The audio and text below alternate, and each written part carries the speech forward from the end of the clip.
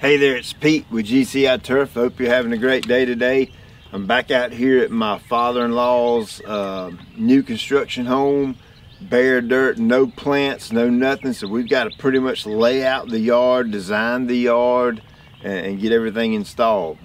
Now I know a lot of folks when they do their install on their landscape, they like something dramatic and just over the top and complicated is the way I look at it. Uh, I'm considerably more simple than that. So I just want to kind of share with you how I lay out a yard and the reasons why I lay it out like I do. Now, what's the one thing in your yard that you do the most of? Okay, I want you to think about that a minute. What do you think it is? What's the one thing you're gonna do the most of in your yard? You're gonna mow the grass, right? So I want that to be the easiest thing in the yard to do.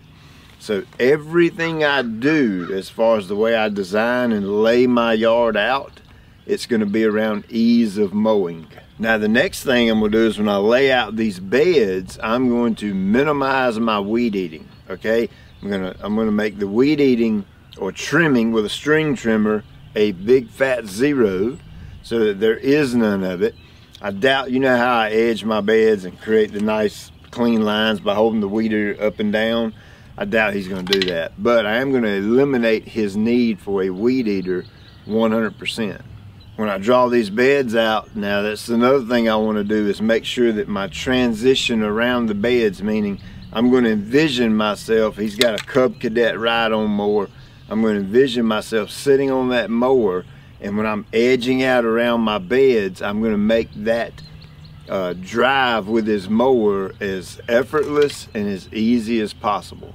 Now I'm gonna kind of start with my focal point and uh, I do know that we're gonna put a crepe myrtle right here, a big old Natchez. And of course I wanna get it out away from the house because we're not gonna butcher it. Uh, most people plant them too close to the house and when they do that they feel like they have to come in and whack them off and big time no-no. So I'm gonna come out here and the crepe myrtle will probably be about right here. So that gives me plenty of distance between here and the house. Now the next thing I'm gonna do is I'm gonna come out here and find out where I want the outside of my bed to be, okay? So if that's my crepe myrtle, I'm, I, I don't necessarily need the same amount of distance from the grass to the crepe myrtle, from the crepe myrtle to the house. I don't really need that. What I'm trying to do is get rid of this slope and not have to grow grass on this little bit of a slope, make my mowing easier, and just by the way it might look. And I'm also have to keep in mind that I've got some storm drains right over there, okay? And my goal is to put those inside the bed, that way we don't have to mow or weed around them. So this right here looks like a good spot right here. I'm good with that. Now on this side, I want to replicate my arc and try to keep my arc consistent around the whole thing. That way when I'm mowing, it's just one smooth pass around the outside.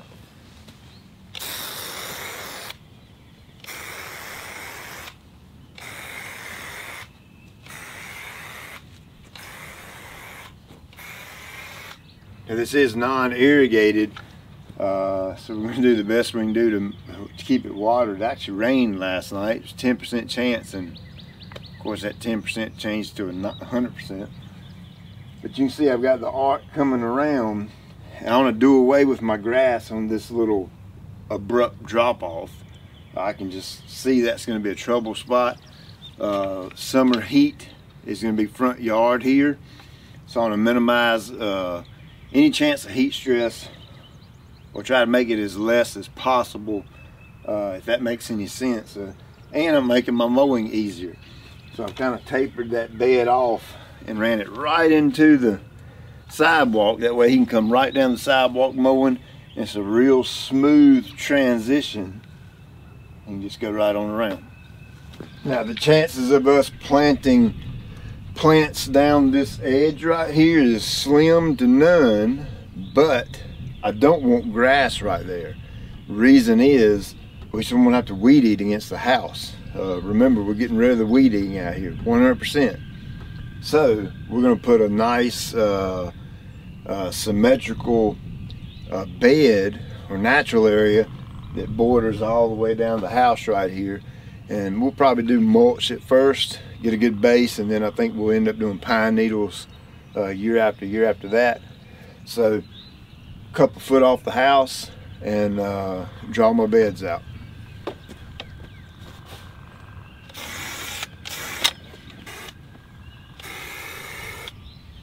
You can see right there that kind of attaches to this bed up on the corner. So you can see I've just kind of made a smooth fluid transition right there. So uh, again, it's all about mowing. When he comes around the corner, it'll be effortless. Now we're gonna do the same thing right here. We're gonna stick a crepe myrtle out here on the corner. Now I've got this gutter pop up right here. I've got to kind of work around. Now one thing I am thinking about, water runs downhill, right? Okay, and so downhill is that way. So I'm gonna plant this crepe myrtle a little bit above this gutter drain because when it rains, that thing pops up and you can see where the water's been coming out. I don't want the root ball of this crepe myrtle sitting in water all the time. So I'm gonna put the crepe myrtle a little bit above that and make my bed based off where I put the crepe myrtle. So you can see where I've got the crepe myrtle over here about right here off the corner then I'm going to come out a little ways where my bed is going to, to start out of the natural area and I'm just going to make a good even moon shape I'm going to tie it in over here where the uh, the bed kind of picks up on the side of the house and again when I'm drawing this out with the paint I'm thinking mowing I mean, visualizing myself sitting on a mower, mowing and relaxing. Maybe I might have a little glass of sweet tea or something. And I'm coming around this corner right here and I want it to be effortless.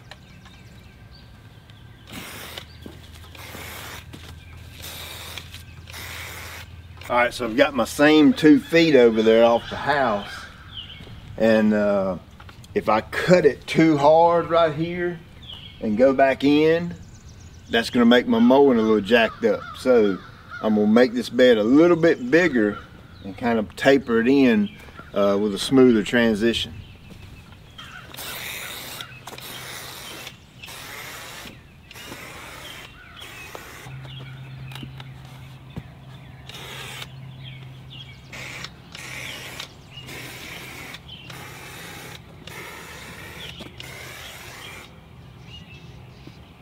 So at some point in time, there's gonna be a big old patio back here coming off the back step. But for budget reasons, we're just gonna do grass now, work on the patio later. So I want my transition to mowing to be really smooth and fluid back here.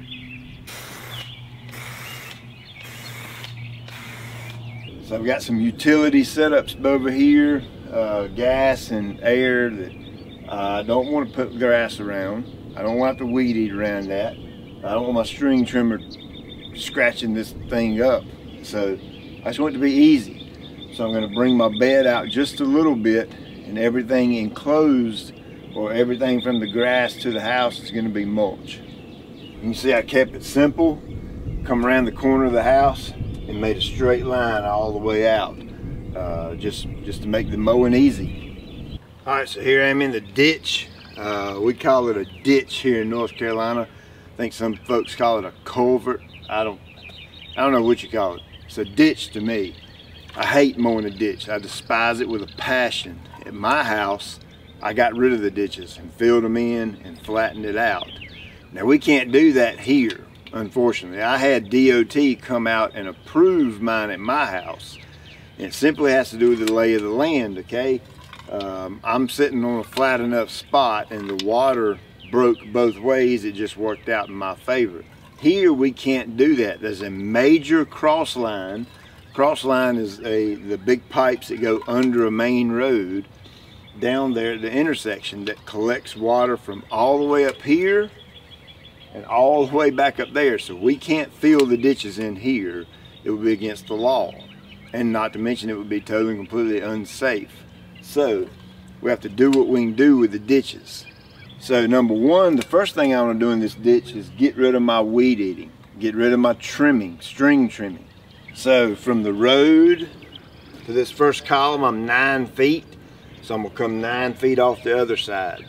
Then I went three feet from the driveway out. So I'm gonna go three feet from the driveway out over here.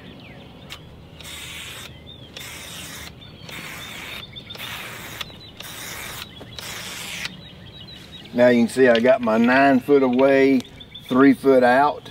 I'm gonna come another three feet. Right there. I'm just gonna taper this in a little bit. Just like that. Now when he's coming down through here mowing, it's an easy, simple turn, just like that. He can go on down and turn around in the road. Now right here where this uh, pipe is at, we're gonna come in about here and here and we're gonna line this area with rock, some type of a decorative river rock, stone, or something like that. So when the water comes through, it's gonna hit that rock, filter through and go through the pipe, and we're gonna match that on the other side. Up here will be mulch and up here will be mulch. And then grass will be out here. So everything enclosed inside of this on, I'm kind of killing two birds with one stone again on this slope. The grass may not do all that great and you don't want to weed eat it. So I'm just enclosing it and making it natural area. Now of course when I'm doing my seeding around all this edging that I've created. I want to use a drop type spreader. I'll show you how this works. Now obviously I always recommend planting grass seed in the fall, but new construction sometimes you can't uh, dictate when the house is going to be complete. So in this situation we're planting in the spring. There's nothing we can do about it to get around it. So we just got to do what we got to do, right? Now I want to show you right quick with a good visual of why I use a drop type spreader to go around my edges first.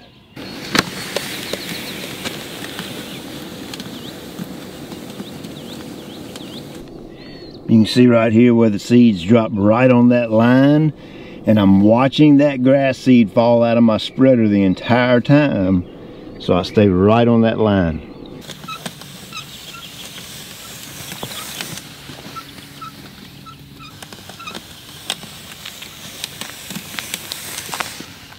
You can also see right here where I meet up against the concrete. I'm letting a little bit of seed get on the concrete. That's okay.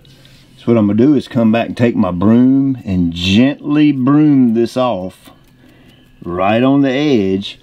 That way all my edges on my concrete will be nice and thick.